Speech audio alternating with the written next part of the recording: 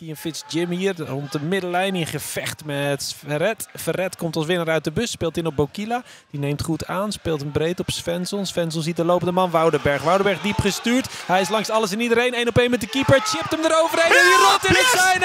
Jazeker, wat een heerlijke goal van Lucas Woudenberg. Vindt er niks aan. Oh, die oh, zit hier oh. te balen naast me.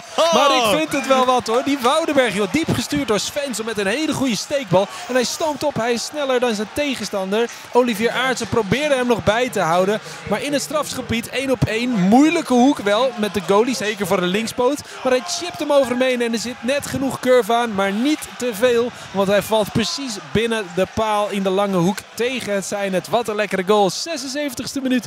2-1 Willem 2.